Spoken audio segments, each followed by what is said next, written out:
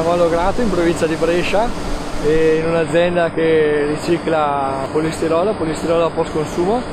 L'impianto esiste da decenni di anni e ci siamo solo nell'ultimo periodo eh, specializzati nella raccolta e riciclo di polistirolo proveniente dalla raccolta differenziata. Partiamo dalla fase di macinazione e lavaggio, eh, dopo la quale viene selezionato il prodotto tramite selettori ottici, polistirolo rigido e espanso e questo viene eh, selezionato tutto quello che è inquinanti o materiali comunque non compatibili che subiscono sempre un parallelo processo di riciclo e alla fine del quale viene estruso, viene fatto il granulo dal quale viene utilizzato poi dai nostri clienti per fare i prodotti finiti. Prodotti per l'isolamento, eh, lastre, eh, packaging, come gli stessi vassoietti espansi che abbiamo visto all'inizio della filiera e tutto quello che riguarda il polistirolo rigido.